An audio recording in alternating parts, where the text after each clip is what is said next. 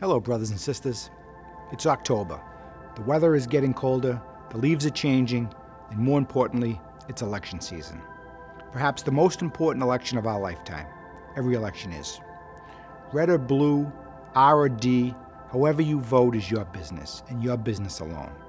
The important thing is, is to make sure that you do vote. It's our duty as Americans. As you know, the IBEW and Local 103 have endorsed Joe Biden for president. And let me take a minute and tell you why, and then you can make your own decision if you're still undecided. Joe Biden is a good, decent man who can be trusted by the American people. He's even presidential. Joe Biden has always fought for and delivered for the IBEW and working people like you and I. Joe Biden has developed a comprehensive energy plan through close consultation of the IBEW.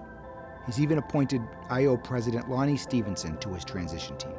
He will invest $400 billion in energy research and innovation to build the electrical industries of the future carbon capture, grid scale storage, and advanced nuclear. Joe Biden supports the PRO Act, protecting the right to organize and bargain collectively, the core of our union way of life. Joe Biden will demand prevailing wages and labor protections in all federally supported infrastructure projects. Joe Biden supports the Butch Lewis Act, which will help troubled pension plans. Joe Biden will ban right to work, and he'll create a cabinet level position that will focus solely on promoting organizing and collective bargaining. The stakes couldn't be higher this year, and there's never been more on the line for hardworking union members than there is right now.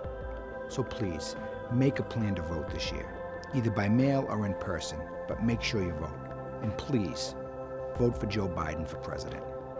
I'm Lou Antonellis, the business manager of Local 103. Let's get to work. うん。